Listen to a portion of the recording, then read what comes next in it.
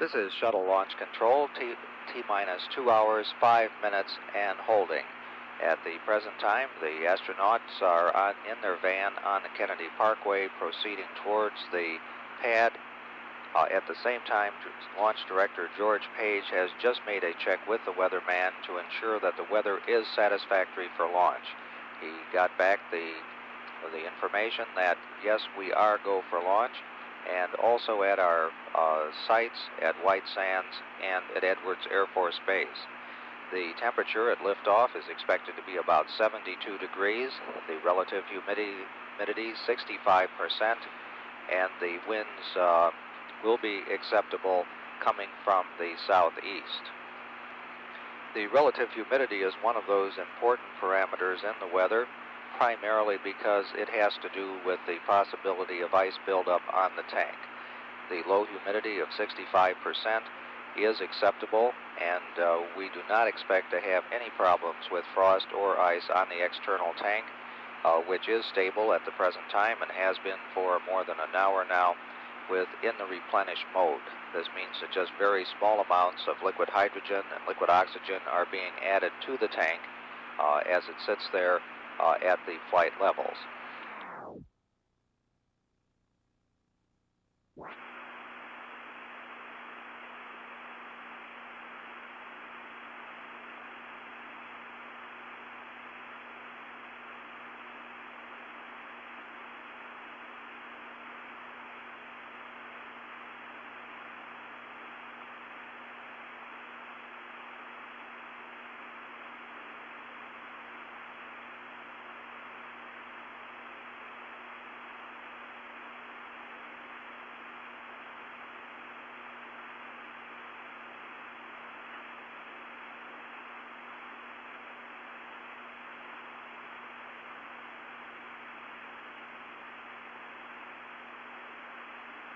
Stand by 30 seconds.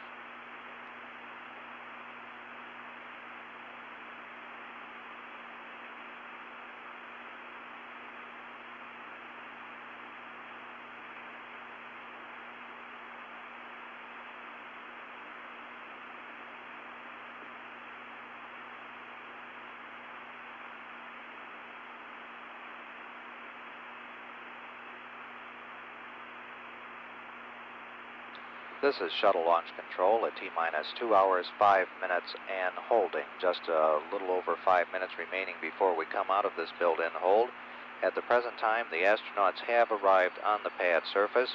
Their truck or astrovan is parking, and they should be getting out of it and moving toward the elevators, which will take them up to the level of the orbiter access arm, the 195-foot level.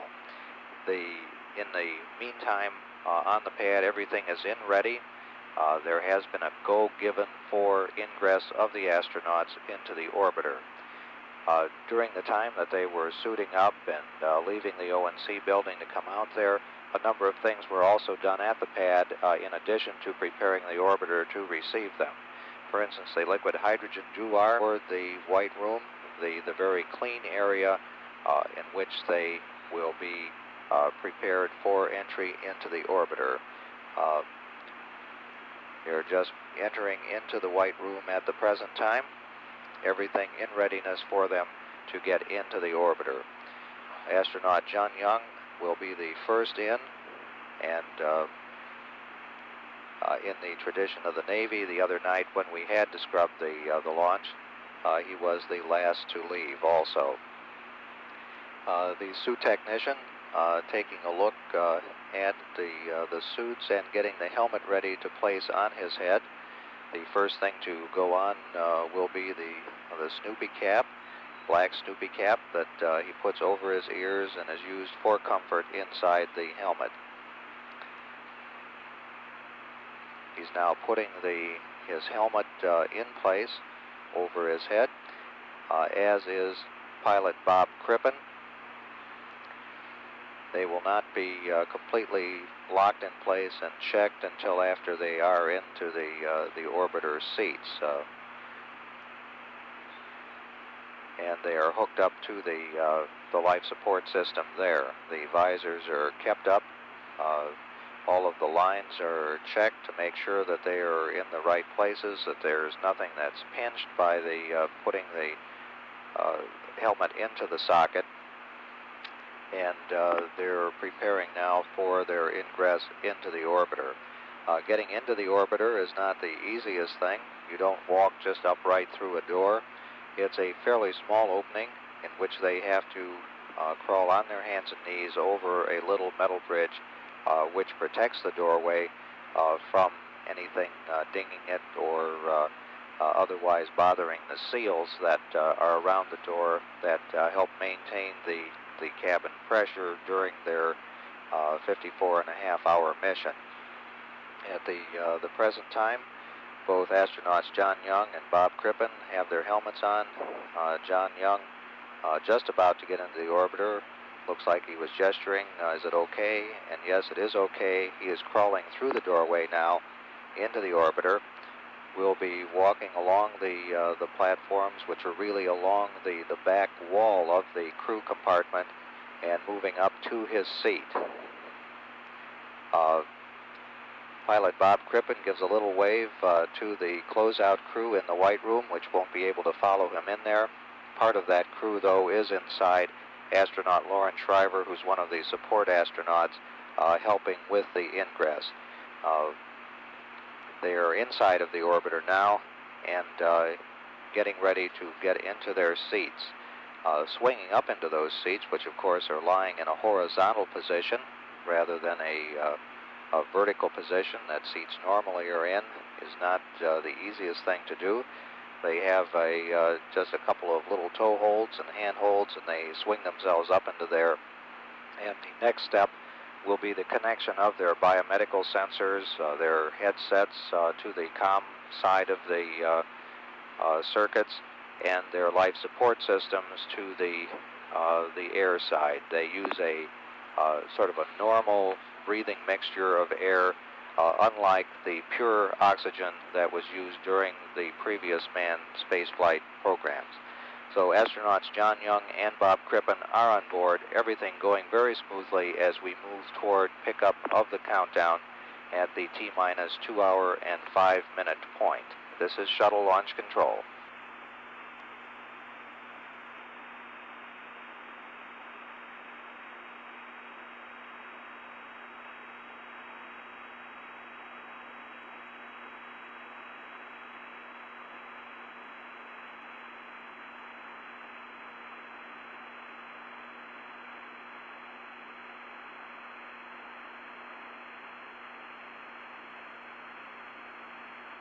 Stand by 30 seconds.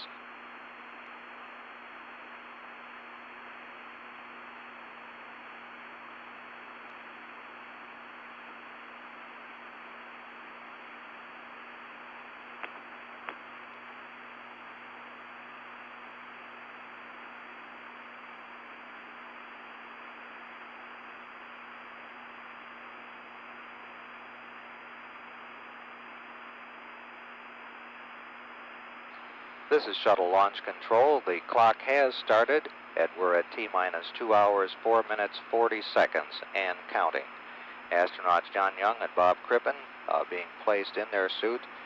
The White Room crew is in the process of uh, wiping down the, the hatchway, which will be closed up to ensure that they get the absolutely best uh, seal that they can there. Uh, later on, that uh, cabin will be pressurized. The seals will be checked to, and checked uh, for integrity to ensure that uh, they are holding properly for the flight. One of the first things that happens here as we uh, once more begin the count is that the main propulsion system helium tanks will be brought up to their flight pressure of 4,400 pounds per square inch. Everything going smoothly, the weather, weather looking good, uh, all aspects of the shuttle looking good, as we prepare for a liftoff at 7 a.m. this morning. We're the countdown at T minus 2 hours, 3 minutes, 40 seconds, and counting. This is shuttle launch control.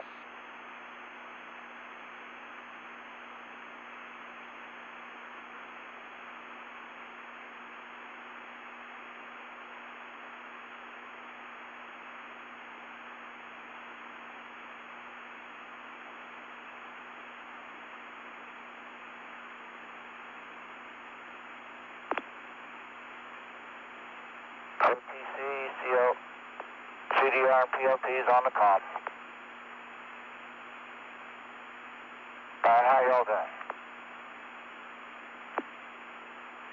Well, we hope.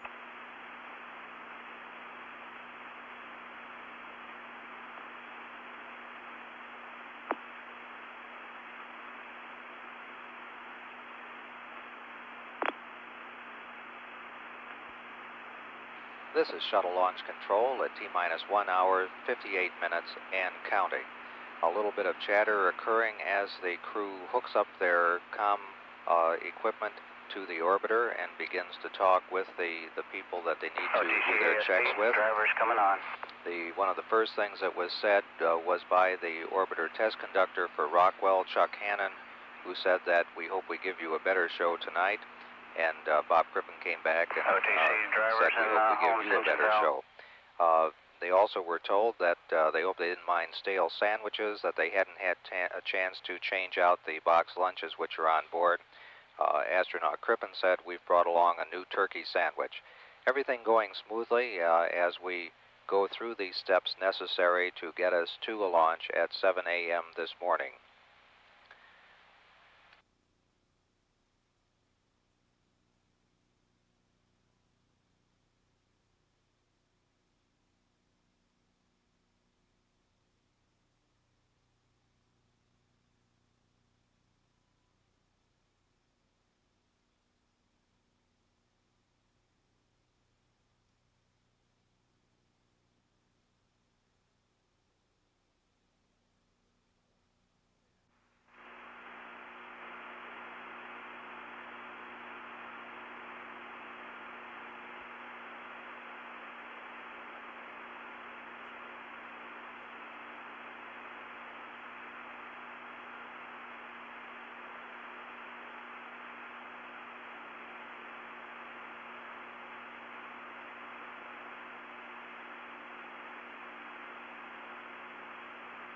CTLS 212. Okay, CTLS.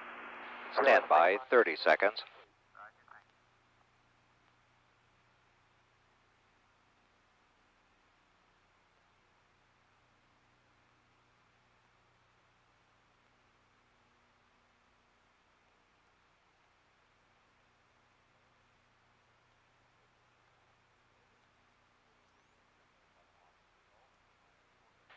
This is shuttle launch control at T minus 43 minutes 20 seconds and counting. At the present time, the cabin leak check is in work and apparently proceeding along satisfactorily. That is not completed until approximately the T minus 30 minute point in the countdown.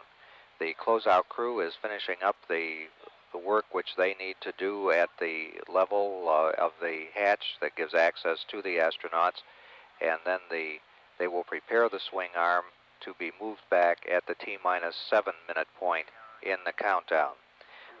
The only other arm which has to be moved prior to liftoff is what's called the GOX vent arm or beanie cap.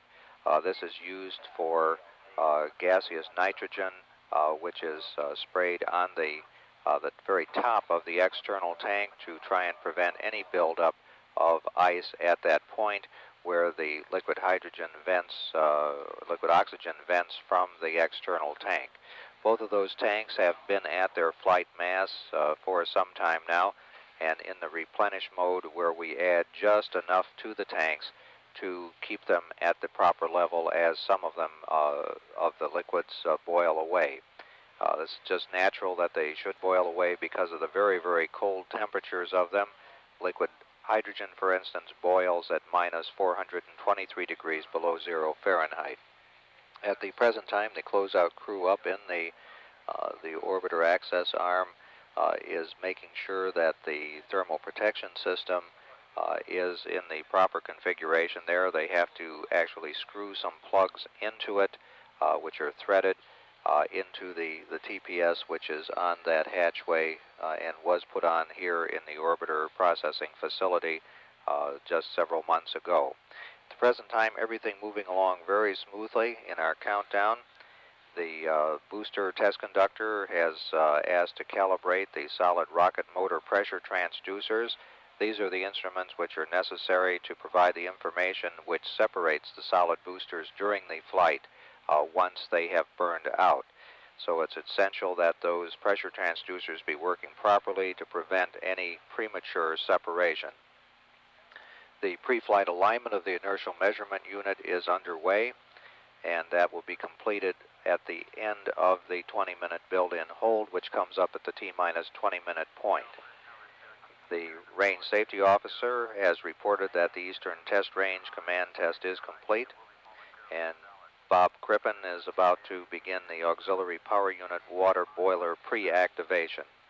At the present time, everything going along very smoothly in our countdown.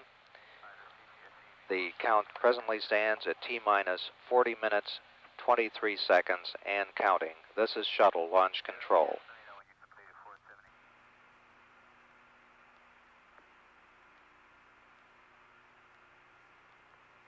CDR OTC. CDR, go. We're ready for you to do the pad BFS transfer prep. Okay, that's in one. This is shuttle launch control at T-minus 35 minutes and counting. At the present time, the closeout crew is finishing up the various preparations necessary on the orbiter access arm. They have just swung away uh, the portion of that arm which provides the seal between the very clean room atmosphere of the white room uh, and the orbiter. It has a uh, sort of an inflatable seal that uh, presses against the orbiter just slightly to ensure that uh, we not get any uh, undue amount of, uh, of dirt or contamination from wind blowing things up there in the white room. We try to maintain the integrity of that because that is the area that people pass through into the vehicle. At the present time, everything going very smoothly.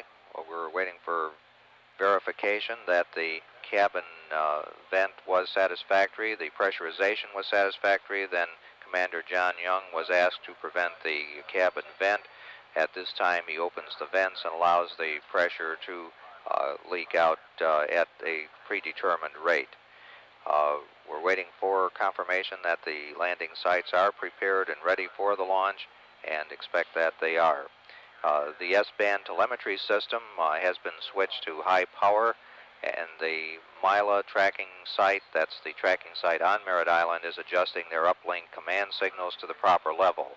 The ground launch sequencer mainline computer programs are in the process of being activated. At the present time, everything going smoothly. We're looking for a launch on time at 7 a.m. this morning. The countdown stands at T minus 33 minutes, 10 seconds, and counting. This is shuttle launch control. Left and right hand on.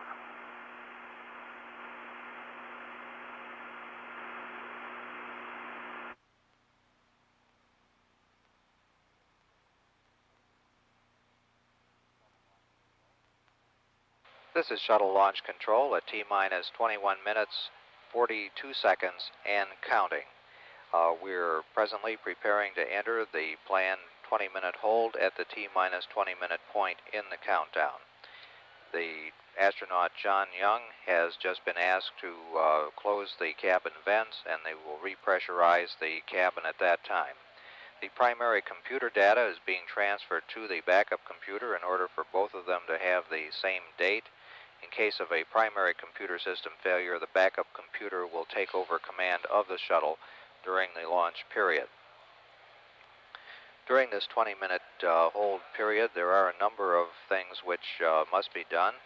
One of them will be to reset the clock, the countdown clock, and so you will see a movement of that of approximately 51 seconds in order to bring us out at a liftoff at exactly 7 a.m. this morning.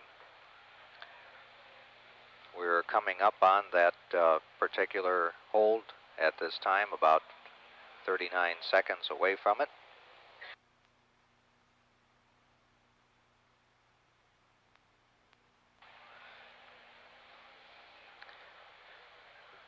The weather aircraft uh, will be active at this time. We have a number of aircraft which will be in the air. They include weather aircraft and also chase planes. The, the chase planes will not take off until later at the T minus nine minute hold period. uh, with the final plane being launched at T minus five minutes with a very, very tight uh, constraint there. Coming up on the hold, T minus 20 minutes and holding.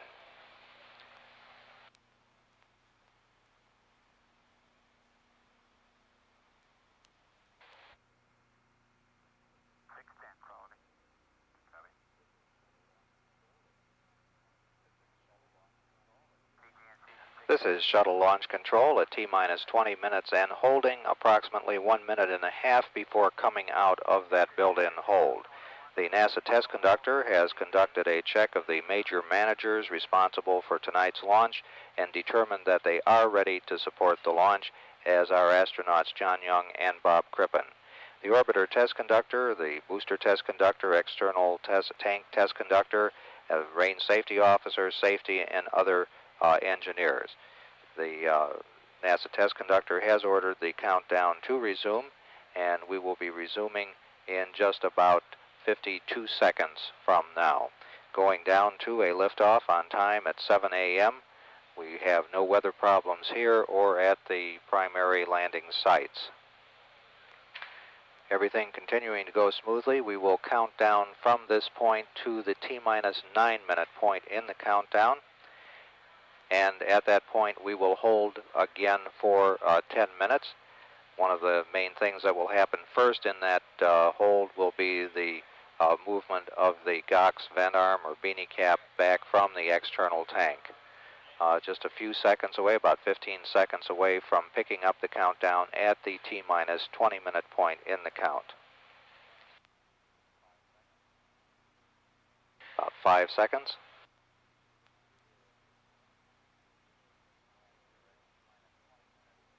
And we're at T minus 20 minutes and counting. A purge of the fuel cells, which provide both electricity for the orbiter and drinking water for the crew, is being performed. At this point, the computer is changed to a program known as Major Mode 101, which is the terminal countdown configuration. At this point, the primary computer is can compared with the proper onboard computer to ensure that they are ready for launch. The NASA convoy conductor has verified that the landing convoy at the KSC shuttle landing facility is ready. Uh, in case of a return to launch site abort, the landing would be on runway 15. All of the other launch sites also have confirmed that they are ready to go. Just prior to coming out of the hold, we received verification that the pre-flight alignment of the inertial measurement unit, uh, unit had also been completed. And so everything moving along smoothly. The countdown at T minus 18 minutes 56 seconds and counting. This is shuttle launch control. Okay, and we'll go to manual transition of BFS to ops 1. CDR when you're ready. Okay, uh, PLT, we're putting that in work.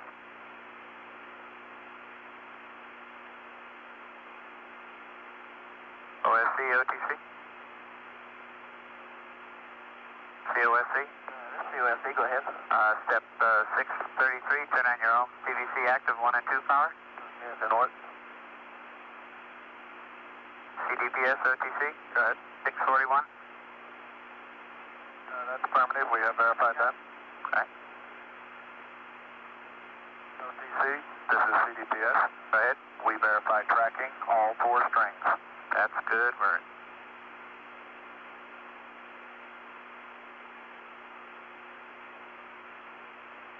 Okay, pilot, uh, configure the pass and BFS horizontal sit display.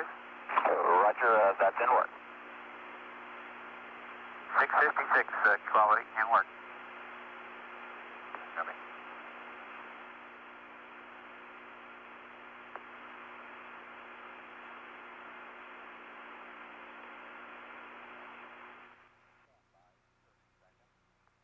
Stand by 30 seconds.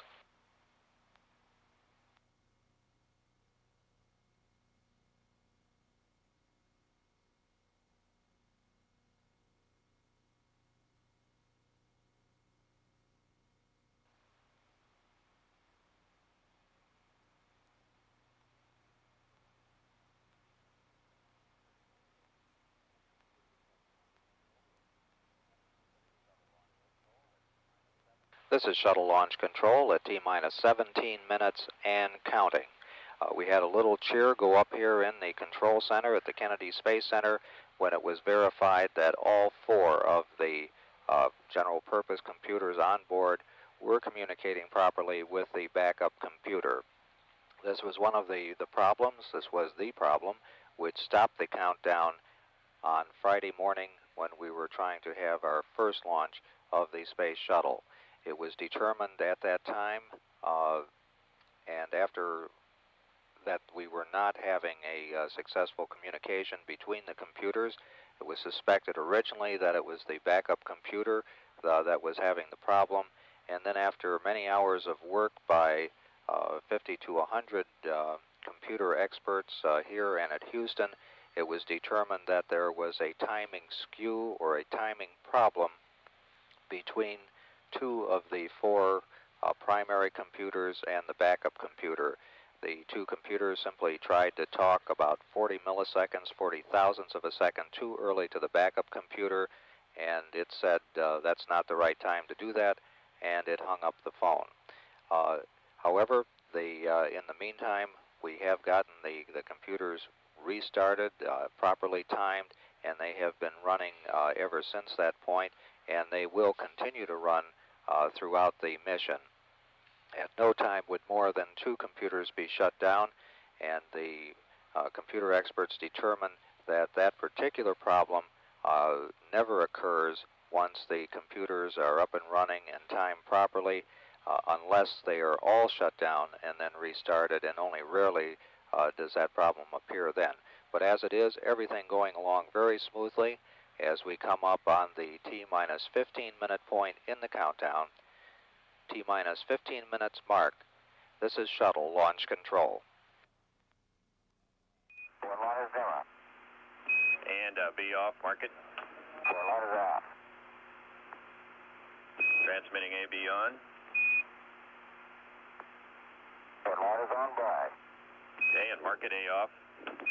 One is zero. And B off. Is off. Okay, STD, that's 100%. STD copy. Double OS, how you doing? We're in work. Too small for programmed update. Okay. Fuel cells, how you doing on your purge? Doing okay. Let me know when it's done. Be about 30 seconds. All right.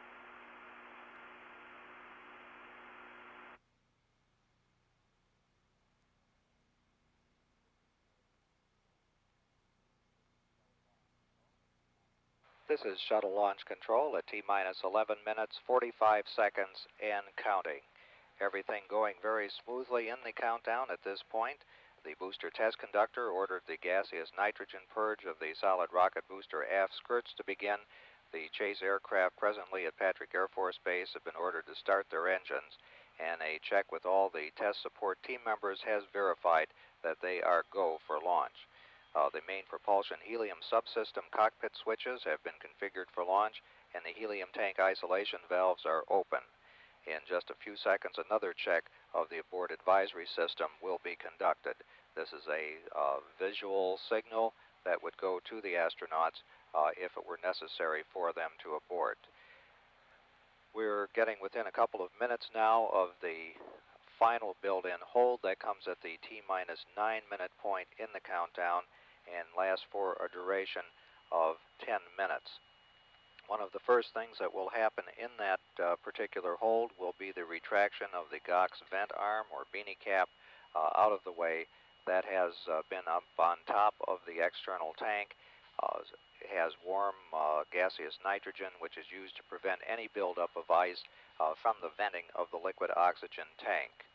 At the uh, present time, we're at T minus 10 minutes, 23 seconds, and counting. This is shuttle launch control. SCP and EPD, how you doing? To about uh, 270 amps. Okay.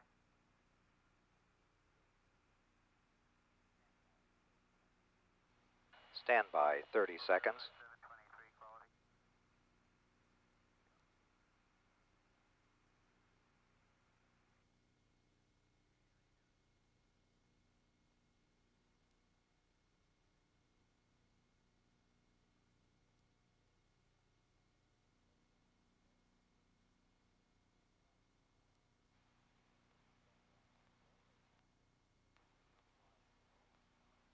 This is Shuttle Launch Control at T minus 9 minutes 30 seconds and counting. Just a few seconds away now from our final build in hold at the T minus 9 minute point in our countdown. Managers are being polled uh, to determine if we are ready to uh, go ahead. Uh, we've had confirmation from DoD support that contingency support aircraft and personnel are on station and ready to support the launch. About five seconds away now from that final nine minute build in hold. We're at T minus nine minutes and holding. This is the final 10 minute build in hold. All personnel in the firing room have been asked to remain seated, and no smoking rule has gone into effect through the launch. We have had a uh, report from the orbiter test conductor, or to the orbiter test conductor, that they are go for launch. At the present time, we know of no major problems as we enter this final 10 minute build in hold.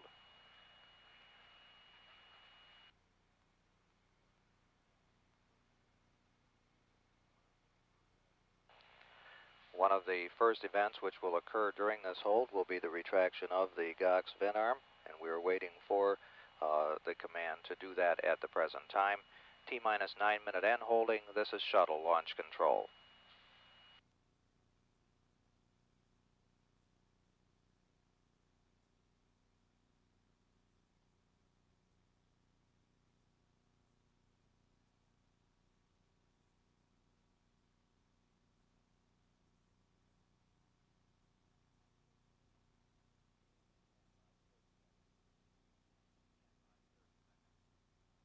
Stand by 30 seconds.